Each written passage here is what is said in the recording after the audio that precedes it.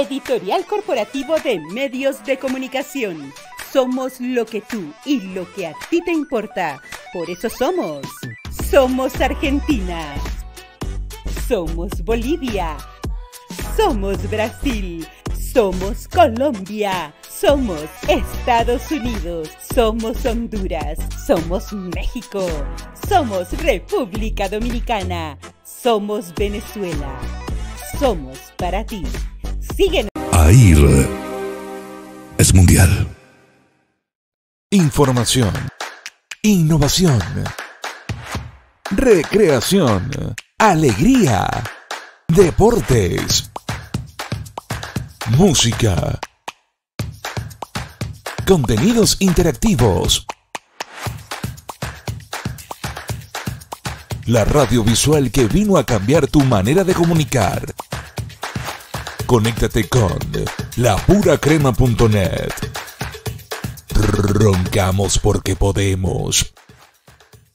Los sonidos más cautivadores provienen de la voz humana. Training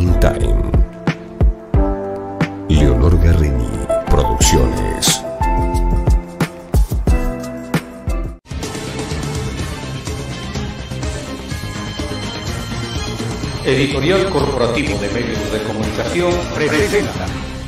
¿Qué tal? ¿Cómo están? Con el gusto de saludarles, su servidor y amigo Cornelio Maclin Cruz de SMC Noticias México, con nuestros espacios nacional de MB Fin de Semana en la Ciudad de México con Liceo Miguel Bárcena y nuestros espacios internacionales donde nos hacen el favor de pues tener nuestra representación de SMC Noticias allá en Buenos Aires, Argentina, en Mar de Plata, allí en Argentina también, Multimedios Nox Salta, allí en Ciudad Salta, y por supuesto también en nuestra fusión de comunicación con Training Time, ahí de mi preciosísima amiga eh, Leonor Guerrini. Allá en Honduras, XHCTV de eh, Tegucigalpa, Honduras, con Celeste Andino, en Azerbaiyán, con Mair Kurbanov, y por supuesto en Colombia, con Johanna Nieto, y en lo que es el área de radio, porque también este programa que usted está viendo de SMC Noticias Espectáculos, pues también se va para el área de radio digital. Así es de que nos están escuchando en la Alianza Internacional de Radio, con nuestra sede en Nueva York, en un enlace con más de 800 emisoras digitales para toda la comunidad hispana que tenemos en la Unión Americana, allá en Nueva York. Y por supuesto también que nos escuchan en, Cuba y también nos sintonizan en Venezuela. Allí a Ángel Infante en lapuracrema.net, allí en Barquisimeto, Venezuela. Y bueno, ahora sí, vamos a, a, saludar, a saludar con todo gusto por allá a esta extraordinaria, extraordinaria artista, actriz multifacética, que es verdaderamente, ya ella se los platicará, es verdaderamente un referente en el mundo del teatro eh, en Argentina, y no solamente en Argentina, ¿eh? sino vamos a decir, yo me tomo el atrevimiento de decir, Ángeles Marcet es un referente del teatro en el mundo. Y por supuesto que también tendremos la participación de mi queridísima y amadísima amiga Leonor Guerrini. Eh, un saludo para su esposo, que seguramente por ahí ha de andar, y este, que también estará participando con nosotros. Leonor Guerrini, allí de Training Time, de, eh, estamos también trabajando con ellos en esta fusión de comunicación que hoy, gracias a la tecnología, como su servidor lo maneja, gracias a la tecnología, nos ven y nos escuchan en todo el mundo. Así es de que, Leonor, por favor, hazme el gran favor de presentar a la preciosa de Ángeles Marcet, porque aquí de lo que he leído de ella, no hombre, yo creo que estos minutos no nos van a alcanzar y vamos a tener que hacer con ella 5, 10 o 20 programas. Así es que, Leonor, mi hermosura, preséntala, por favor. Bueno, gracias. Primero, aplauso, me encantó la presentación, estamos en todos lados, no nos vamos a equivocar porque si no estamos al horno, porque se entera todo el mundo. Así que bueno, no, me encanta. Primero agradecerte el espacio que, que nos das y que le vas a dar a Ángeles para que la conozcan, porque realmente es una actriz multifacética que hace genialidad de cosas y que yo quiero que la conozcan a nivel más internacional de lo que la conozco, de la que la conocen. Quiero que vaya al exterior, que actúe. Ahora está con una obra increíble que es Tic Tac, que, estamos hablando mucho de esta obra y que está Mar del Plata, que estamos trabajando en Mar del Plata, la está rompiendo. Así que realmente eh, ella es una genia de los unipersonales, aparte de ser una genia como escritora, como directora y como actriz. Así que con ustedes, Ángeles Marcet. No, hombre, caray. Qué presentación, pero qué maravilla, qué honor tenerlos a los dos así. Muchas gracias, muchas gracias. No, al contrario, al contrario, Ángeles. Y mm, regularmente, bueno, no regularmente, lo que es el espacio de los programas que tenemos en SMC Noticias México, siempre eh, les hago llegar porque te están viendo en toda Latinoamérica, pero también en todo lo que es eh, la República Mexicana. Y siempre tu servidor le dice, le dice a nuestro auditorio, como lo decimos coloquialmente en México, les hablo en mexicano. Así es de que eh, regularmente siempre nuestro programa es, les doy a conocer la parte humana del de, artista, la parte humana del político, dependiendo de quienes tengamos en entrevista, porque desafortunadamente sigue existiendo en la ciudadanía mexicana de que cuando son artistas de renombre o cuando son artistas extranjeros, eh, como que se separan de la parte de la sociedad, ¿no? O sea, de la parte de la ciudadanía, como que se vuelven inalcanzables. Y yo siempre les he dicho, no, o sea, siguen siendo seres humanos, siguen teniendo necesidades, siguen teniendo ilusiones, proyectos, siguen comiendo, siguen yendo al sanitario, siempre les digo. Y por eso, Ángeles, antes de dar a conocer algo así rapidito de lo que eh, tengo yo de, toda tu enorme y importante trayectoria, ¿por qué no le dices a nuestro auditorio eh, quién es Ángeles Marcet, dónde nace, eh, quiénes son sus padres, eh, dónde estudió, si pasó con seis o pasó con diez, y cómo es que llega, cómo es que le, llega a ella esta e, emoción, esta pasión por hacer teatro. Por favor, Ángeles. Bueno, muchas gracias. Sí, uno cuando van pasando los años va haciendo un recorrido porque se, se va perdiendo un poquito en la historia de uno, cuándo fue que comenzó este camino, ¿cierto? Y realmente eh, quizás sea hasta una frase muy repetitiva, pero de chiquita, hoy por hoy lo puedo reconocer y aseverar eh, este mundo de, buscar ser varias personas, de subirme a una silla de pequeña y recitar un poema. En ese entonces uno vivenciaba que era disfrazarse como niño y jugar a ser distintas personas. Hoy por hoy está prohibido en el lenguaje del actor decir disfrazarse, es el vestuario, no es disfrazarse. Para eso vamos a la fiesta de disfraces. Y realmente siempre en la escuela primaria y secundaria eh, esta cosa que yo siempre digo inconsciente, evidentemente proyectaba que las maestras me eligieran para, para actuar, porque si bien me daba nervios, pero yo disfrutaba muchísimo. Y realmente nunca estudié teatro de, ni de niña ni de adolescente. Eh, realmente siempre manifestaba el camino humanista, eso seguro, eh, la típica pregunta de qué vas a estudiar, qué vas a hacer cuando seas grande siempre se me repetía la artista. Y entre medio de todo eso también detective privado, azafata, pasaba por un montón de otras cosas que me encantan y vivo viendo series con esa connotación para que se libere mi inconsciente también, porque no lo elegí profesionalmente. Y realmente, bueno, yo viví, eh, nací aquí en Mar del Plata, eh, mi madre, María de los Ángeles, y mi padre, eh, que ya está en otra dimensión. Eh, algo que mm, a mí me emociona mucho, eh, tener este recuerdo permanente del apoyo de ellos en que sea feliz, que lo que yo deseara estudiar iba a estar bien, jamás me presionaron a tener que cumplir un determinado mandato, cosa que agradezco con todo mi corazón y yo pasé por la universidad estudiando licenciatura en turismo, estudiando idiomas, pero siempre terminaba dejando. Pasé por el modelaje también, porque había algo que me faltaba. No, yo no me sentía eh, realmente completa y no me daba cuenta verdaderamente que era el querer ser actriz porque lo tenía negadísimo. Uno eso lo ve después con los años ¿Por qué no me decidí antes? Y porque habría algo que me daría pudor o creería esa cosa que uno tiene que ser famoso o ser hijos de para. Y con los años uno se va, va agarrando otro tipo de atajos hasta que llegó el momento a mis casi 25 años, después de haber transitado, como te digo, de haber estudiado otras cosas, eh, tomé la decisión, aquí en Mar del Plata existe la Escuela de Arte Dramático, y yo no había experimentado ningún tipo de taller, eh, sí, sí de baile, no soy bailarina, pero siempre con el tema de la música estuve vinculada. Y cuando tomé la decisión eh, de decir, ok, voy a ir a averiguar de qué se trata, cuál es la malla curricular que me propone esta carrera terciaria, fui la número uno en inscribirse. y sabiendo que tenía que transitar un mes de eliminatorias, de exámenes, y uniendo esto como, como tú me preguntabas al principio, bueno, yo mezclo el tú y el vos porque me encanta. Eh, de chica no fui de las mejores calificaciones, sino que acá el máximo de nota es 10.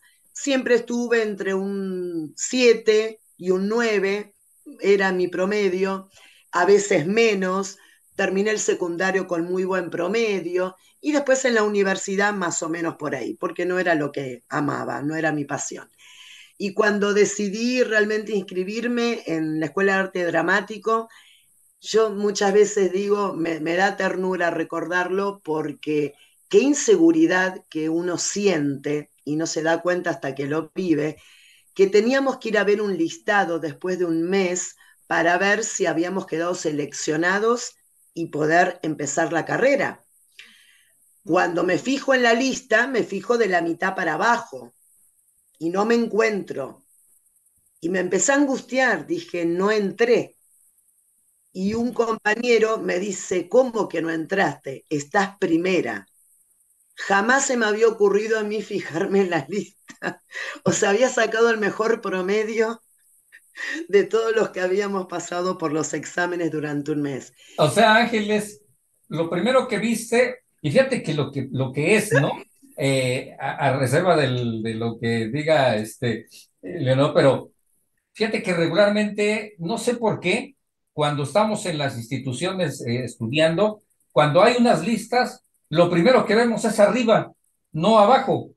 Sí. Y a veces lo que decimos o no, o, no, Leonorcita, a, veces decimos, sí. no me quedé, y después nos dicen, ¿cómo que no? Si ahí estás, hasta allá estás. Claro. al revés, ya hizo al revés. mejores promedios, ¿no? al revés me pasó a mí. Claro. no, muy raro lo tuyo. Esas cosas que son maravillosas, pero que cuando yo le dije a mis padres, eh, yo había, era reincidente en la facultad, empezaba turismo, dejaba, seguía modelando, eh, me volví a inscribir en la misma carrera y volví a dejar y nunca daba un cierre a todo eso. Cuando yo informo en mi familia que ya tenía muy claro y que realmente quería ser actriz, recuerdo el silencio de mis padres, me miraron los dos, me dijeron, es difícil, siempre me acuerdo de esa palabra, es difícil, hija pero si te hace feliz, y me quedé con eso segundo. Lo difícil lo borré de mi cerebro porque si uno quiere ponerlo en términos difíciles, difíciles puede ser toda una vida, pero cuán fácil o más fluido se lo, puede, se lo puede hacer uno a uno mismo y al entorno. Porque si no, eh, nos detenemos. Si es difícil, entonces ¿para qué lo voy a intentar? Y uno con los años va aprendiendo que hay que transitar, hay que identificar los miedos para que no sean limitantes, poder atravesarlos, poder tomarlos de la mano, lo sigo haciendo y me encanta hacerlo, y decir, ok, miedo, ya sé quién sos, pero vamos juntos a ver qué nos pasa con esto, porque si no, realmente nos quedamos en el mismo lugar dando vueltas y tratando de mordernos la, la cola como los perros. Exactamente. Una de las cuestiones que siempre tu, eh, servidor lo ha comentado, eh, he tenido la oportunidad en estos 43 años que llevo en el periodismo y que pues bueno, hemos incursionado en la radio, en la televisión, eh, he tenido la oportunidad de manejar el área de espectáculos en México y he tenido la oportunidad de entrevistar, por ejemplo, a un Juan Gabriel, a una Vicky Carr, a, a gente de teatro también, Ernesto, don Ernesto Alonso. Y este, ¿y qué es lo que ha permeado, qué es lo que hay allí? Como siempre lo he comentado, cuando tienes pasión por algo, cuando la pasión es la que lleva hacia adelante eh, lo que tienes que hacer, no te importa lo que tengas enfrente, pasas, lo brincas, así sean montañas, eh, lo pasas y llegas a tu objetivo. Y ese es uno de, los fundamentos principales para el éxito, para el triunfo, Ángeles. Y yo creo que tú lo has vivido, lo estás viviendo y lo seguirás viviendo, Ángeles. Y fíjate por qué lo digo, porque allá lo que has comentado, cómo, cómo fuiste iniciando en todo esto, de lo que tengo aquí, por ejemplo, imagínate, tú este, dentro de tu trayecto, pues que es muy fundamental, tú egresaste de la Escuela Municipal de Arte Dramático allá en Mar de Plata, y que en ese entonces lo dirigía don Antonio Mónaco, aprendiste todas las bases del arte dramático y fuiste desarrollando precisamente bajo esto una sólida formación. Y algo muy importantísimo, imagínate, para mí lo que te ha llevado a la pasión por lo que haces en el teatro, que es Ángeles Marcet, solamente has participado, y eso yo creo que estos datos ya se actualizaron bastante eh, cuando los tomaron, pero has participado en más de 30 obras y lo más interesante, en diversos géneros, ¿Por qué? Porque a veces muchos de los actores de teatro que, con los que he tenido a veces la oportunidad de platicar, se dedican a un solo género y cuando les sale la oportunidad para participar en una obra y hacer eh, no solamente cuestión dramática, sino eh, hacer, vamos a decir, hacer reír a la gente, no le entran. Pero y en esto es lo interesante, Ángeles. Así es de que, caray, es un honor platicar con alguien que domina el escenario de un teatro, Ángeles. ¿Qué está haciendo actualmente, Ángeles? ¿Qué está realizando? ¿Qué proyecto? Coméntale a nuestro auditorio y después de que me comentes, le dejo el espacio a mi querida Leonor, porque ella siempre he dicho, ¿eh? Aquí en México así lo decimos, zapatero a tus zapatos, o sea, de, teatro, de, de, que te conocen más todavía, pues es Leonor y ella puede platicar contigo de algunos otros detalles que nuestro auditorio que te está viendo en todo México y en todo el mundo gracias a la tecnología, podrá decir que sí es de que, coméntame Ángeles. Sí, tomando eh, esto último que decías, para, para mí eh, uno de los secretos para, para mi crecimiento y ojalá todos los actores y actrices sientan lo mismo, es estar siempre estudiando y tratando de superarse a uno mismo.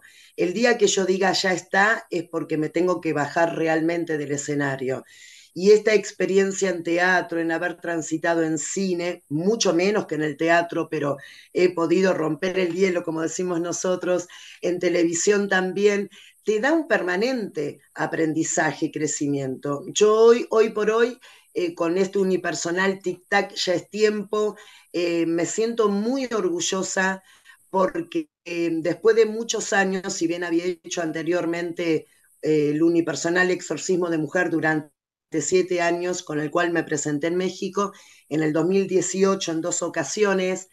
Eh, la verdad que para mí el, el unipersonal es lo más complejo en el trabajo teatral para el actor por el solo hecho de estar solo en el espacio y que uno tiene que convivir con muchos personajes y lograr ese trabajo profundo y fino, más allá de, del gusto del espectador, pero sí tratar de sostener una creatividad y un nivel de trabajo que llevan muchos meses de proceso, muchos meses de creación. En este caso yo he unido la dramaturgia, en este caso mía, que era un proyecto que yo tenía de hace muchos años, de escribir mi propio unipersonal, y realmente estoy más que satisfecha por lo que produce, primero por transitarlo y sentir lo inexplicable en mi cuerpo y poder proyectar eso en el público y sentir en el abrazo y ver la emoción en cada uno de los espectadores, no pido más, porque si de eso se trata, que podamos comprender que todos somos uno y que nos hacemos espejo en la vida permanentemente y que el arte ayuda a sanar de verdad, si uno quiere, y con una obra yo puedo llegar a hacer un mínimo aporte a la calidad de vida de cada ser humano, caramba, son los mejores premios que me puedo ganar en mi profesión. Entonces con Tic Tac es un gran desafío que yo tengo, una hora diez, son siete personajes que transito, y también eh, otra obra que se llama Invisible, La verdad es la mentira más eficiente, que actúo y dirijo también junto a Iván Mesías, que es el otro director de aquí, de nuestro espacio, y mi compañero de vida, que es una obra que somos 11 de elenco y transita por la trata de personas.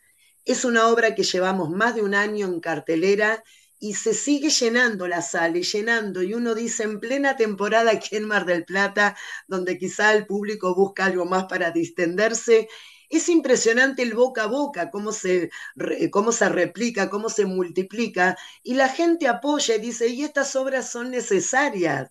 Entonces yo estoy fascinada con lo que produce en el espectador, porque me da la pauta realmente de lo que necesitamos consumir para seguir tomando conciencia.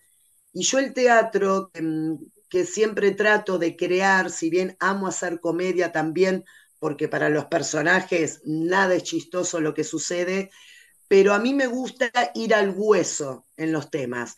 Sé que eso a veces puede llegar a molestar muchísimo. Como diría Berman, siempre tomo una frase que dice, dar un golpe en los riñones para sacar al mundo de su indiferencia. Y yo trato de golpear primero mis riñones para proyectarlos en el, en el espectador. Definitivamente. Caray, pues esto es algo verdaderamente, como lo decía yo en un inicio, eh, eh, tiene uno a veces, eh, como periodista, a veces tiene uno el honor de, tener enfrente de uno y platicar con extraordinarios personajes del mundo del arte, de la música, y, en esta ocasión, no sabes qué honor tengo en el poder platicar contigo, Ángeles. Y fíjate que hace rato que comentabas que has estado también en televisión, en cine, estaba yo checando allí que, eh, pues, lo más reciente que tienes el año pasado, en el cual eh, has trabajado, por ejemplo, en este último proyecto de cine, que fue la película Demente, que la estrenaron el año pasado, precisamente, que además de que eres cofundadora y directora del espacio cultural Liber, Liberarte, o sea, es liberar y luego al final una T, ¿no? Liberarte. Y bueno. No, cine. Ah, cine. Ajá. Y en esto, pues bueno, sensacional. Así es de que, Leonor, tú que estás más cerca ya y este, y que pues obviamente que tienes más eh, contacto con Ángeles, platica con ella. Eh, ahora sí que, como decimos en México, es tu turno.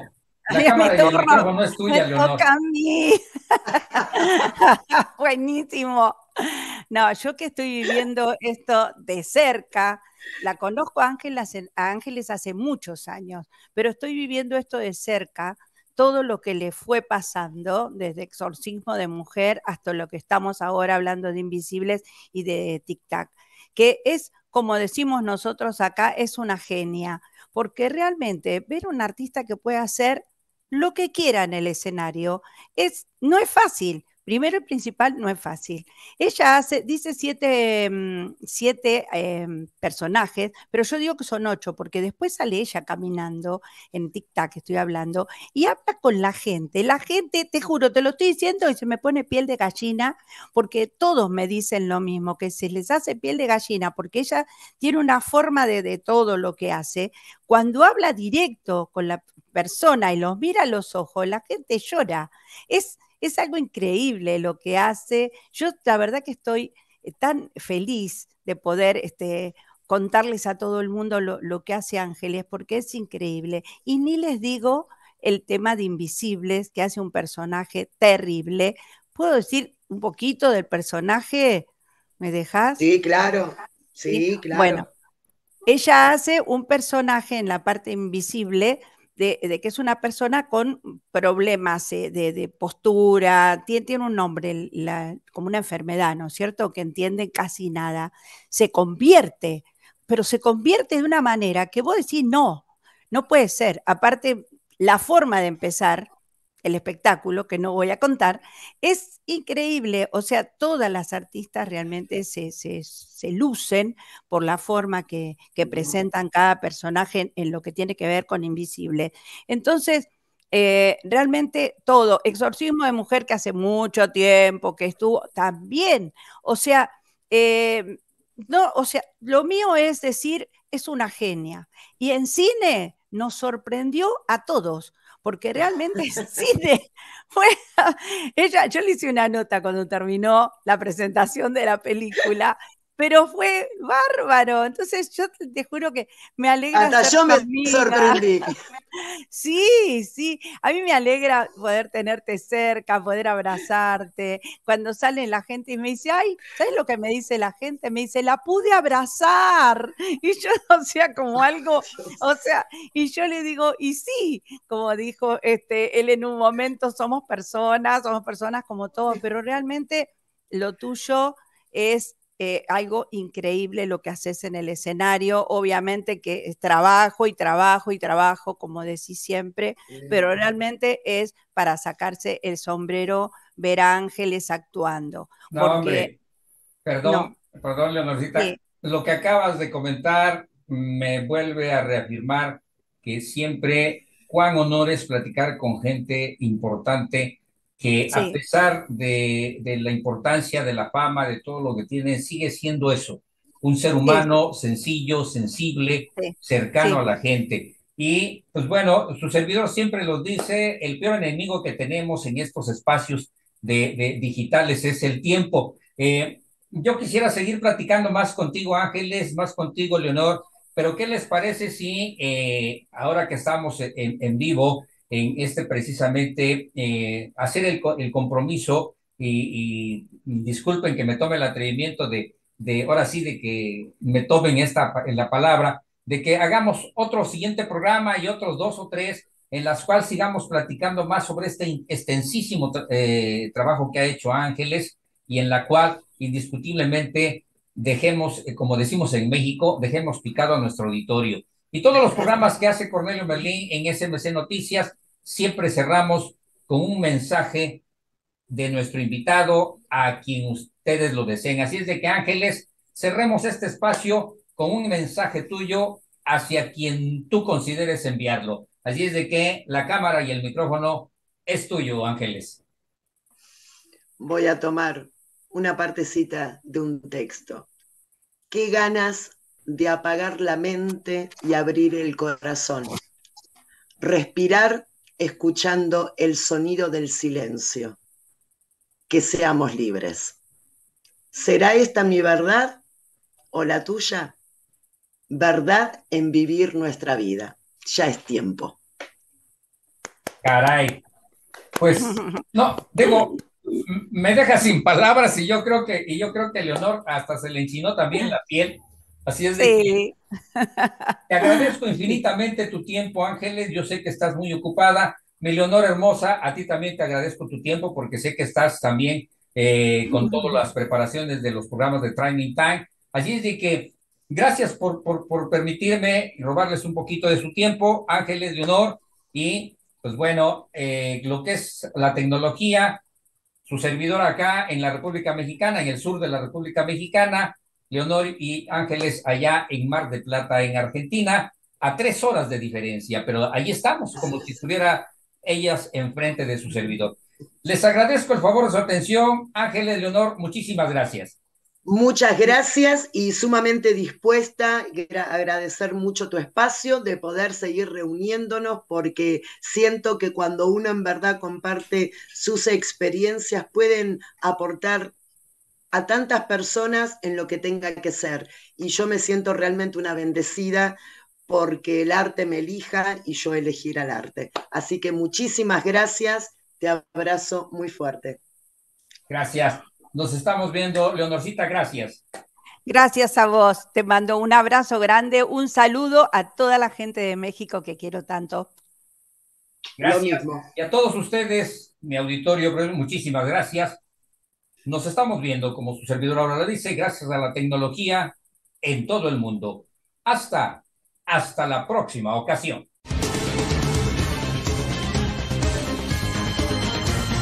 Editorial Corporativo de Medios de Comunicación presentó